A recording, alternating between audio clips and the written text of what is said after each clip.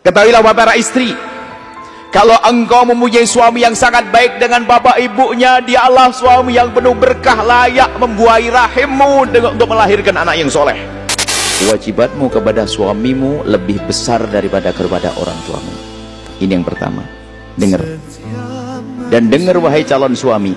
Suami hebat adalah yang memberikan ajang jembar kepada istrinya, memfasilitasi memfasilitasi istrinya untuk mengabdi kepada bapak ibunya. Dengar kalimat ini.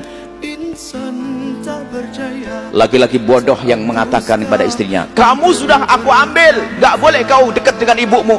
Kurang ajar banget tuh laki-laki. Ada model begitu. Pahami? Imammu harus kau nomor satukan wahai para wanita, wahai istri. Imammu, imammu. Tapi suami yang hebat adalah yang berkata begini pada istrinya, wahai istriku, ke mana pun kau pergi harus izin. Tapi kepada bapak ibumu tidak perlu. Bahkan aku beri bekal untuk muliakan bapak ibumu. Itu baru suami hebat. Jadilah suami hebat dan jadilah istri hebat. Apa yang terjadi setelah itu? Keindahan, gak ada masalah setelah itu. Gak ada pertanyaan, mana yang lebih utama? Gak ada. Semuanya hebat, istimewa. Selesai? Kadang ada laki-laki bodoh melihat istrinya membantu bapak ibunya berarti mertuanya marah-marah dia ada juga istri yang tidak tahu. Istri melihat suaminya transfer uang ke adik-adiknya ke ibunya sendiri. Ini pernah kejadian nih mungkin saya harus saya pertanyaan seorang suami sudah sukses. Tiba-tiba tanya kepada kami Buya gimana sih Buya hukumnya? Kalau saya bantu ibu saya ibu saya kan suaminya sudah meninggal ayah saya sudah meninggal. Saya punya adik kecil gimana hukumnya saya bantu ibu saya tanpa sepengetahuan istri saya? Anda tanya bab fikih kan? Iya. Bab fikih berbunyi begini. Selagi itu uang-uangmu selagi itu uangmu kau berikan kepada biasa siapa saja boleh tanpa izin istri. Apalagi kau berikan kepada ibumu dan adikmu sendiri. Itu bicara fikih. Tapi orang lebih tinggi dari fikih kelas hidup cuman saya mau tanya dulu. Tanya apa Buya memangnya kenapa kalau kamu bantu kepada ibumu ketahuan istrimu?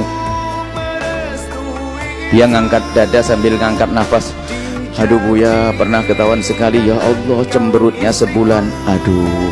Kok ada istri model begitu tuh? Na'udzubillah. Ada sebaliknya Seorang istri juga datang kepada kami berkata Buya Alhamdulillah saya sudah diangkat jadi PNS Saya tidak ngerti apa judulnya. Kok tiba-tiba ngomong saya diangkat jadi PNS Alhamdulillah. Maksudnya apa? Kan gini Buya Kan berarti saya sudah punya gaji sendiri. Ibu punya suami punya Nah inilah permasalahan saya Buya Gimana hukumnya kalau saya memberikan gaji saya kepada Sebagian gaji saya kepada ibu saya yang nggak mampu itu? Tanpa sepengetahuan sua, suami saya jawab ibu kalau itu duitnya ibu ibu boleh diberikan kepada siapa saja termasuk diberikan kepada ibunya ibu. Tapi kalau duit suami tidak boleh keluar kecuali izin dari suami. Oh enggak bu yang ini gaji saya. Oke kalau gaji ibu boleh. Alhamdulillah. Jadi nggak dosa bu ya? Enggak om duitmu sendiri kok. Kalau duit suami baru minta izin. Alhamdulillah. Tak stop bu cuman saya sedikit boleh tanya. Tanya apa bu ya memangnya kenapa suamimu kalau tahu kamu ngirim duit kepada ibumu? Oh ya suami saya pernah melihat saya membantu ibu saya marah-marah. Aduh saya tidak suka dengan laki-laki model begitu.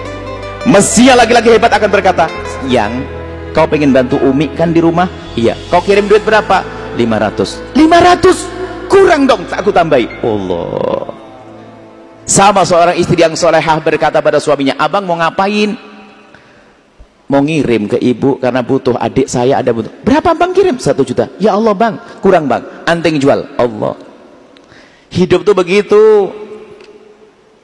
Ketahuilah para istri. Kalau engkau mempunyai suami yang sangat baik dengan bapak ibunya dialah suami yang penuh berkah layak membuahi rahimmu untuk melahirkan anak yang soleh. Begitu sebaliknya wahai laki-laki yang baik jika istrimu adalah anak yang sangat berbakti kepada bapak ibunya ketahuilah rahimnya rahim yang layak anda buai untuk menjadi rahim yang subur mengeluarkan anak yang soleh. Itulah yang harus kita hadirkan dalam hidup. Jangan main larang-larang naudzubillah. Itu perlu dibenahi dalam hidup kita ini. Rayuan dahsyat itu bukan yuk kita bulan madu di atas awan. Bukan. Tapi rayuan dahsyat adalah begini sebuah contoh. Coba anda terayu atau tidak? Suami anda ngajak anda pergi ke warung ke supermarket ke toko belanja.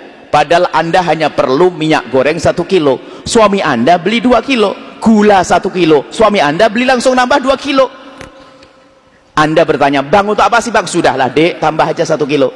Setelah ditambah pulang sampai di rumah. Anda ngerapikan. Yang satu kilo anda susun di rak. Cuman yang satu kilo anda bertanya bang yang satu lagi mana? Dibungkus sama suami anda. Kok dibungkus bang? Iya yang mau diapain? Mau saya kirim. Kirim ke siapa? Ke ibu. Ibu apa nggak sudah meninggal? Bukan ibuku sayang. Ibumu sayang. Jatuh cinta langsung tuh istri. Ya Allah suamiku ingat ibuku. Aku saja belum mikir ibuku. Ternyata ngerayu itu gampang. Indah itu mudah indah itu dengan keindahan. Itulah pelajaran yang akan yang kita hadirkan di sini